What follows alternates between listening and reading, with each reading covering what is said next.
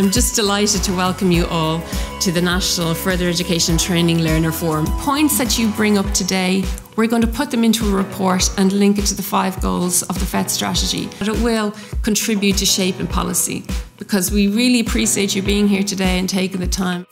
I find myself very fortunate to be involved uh, in further education. The meeting of people is nearly, if not more important than the courses themselves, because it gets you out of the home and getting to know what's going on in the community.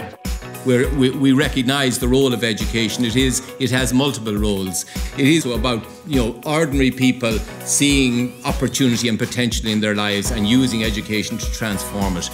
Education can be that crack that lets the light in. Uh, it never will be perfect. It won't be a perfect offering you get from any of us who are, are in this world, but it is something that you can make something of. And if it's delivered in the right way, it can, can transform.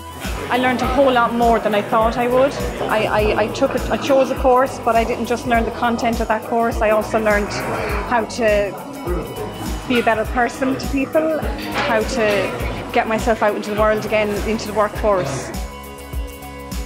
So not only did I personally, you know, gain from return to learning, but I also needed that time out. And sometimes in life we need a time out.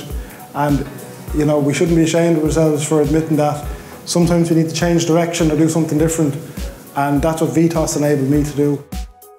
Oh, it's been really eye-opening for me, and I've gained the, the skills, the, the self-confidence, the you know everything I will need actually if I'm, I want to go on to further education or I want to uh, go on to work. Or it's really prepared me for a lot of things that I wouldn't know how to do before. We're about halfway through our, our five-year strategy, and we're going to review it and we're going to include the work from today and from last year as part of that review.